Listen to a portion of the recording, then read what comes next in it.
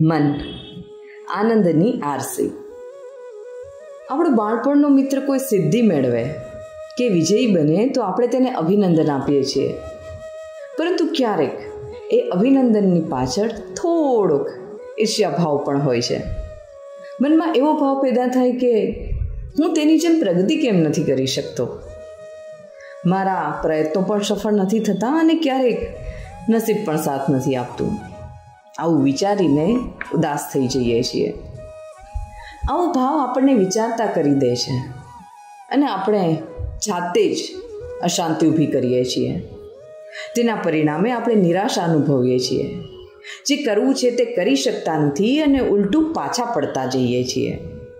આપણી આજુબાજુમાં રહેતા લોકો પણ તેમાં વધુ આગ લગાડે છે અને તેથી આપણી ઈર્ષા વધુ વેગેલી બને છે.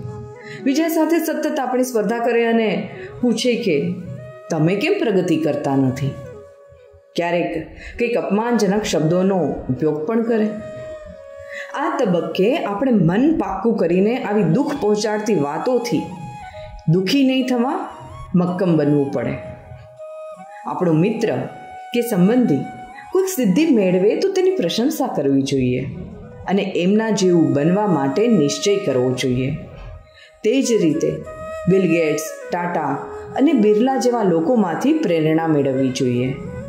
ઈર્ષ્યા કરવી એ આપણો સ્વભાવ નથી. પરંતુ મગજમાં ઘૂસી આવતા બિનજરૂરી વિચારો છે. કોઈ આપણાથી સારું કરે, તેની ઈર્ષ્યા ન હોવી જોઈએ. આ જીવન આપણું છે. આપણે સારી રીતે જીવવાનું છે એમ વિચારીને સારી ભાવના રાખવી જોઈએ.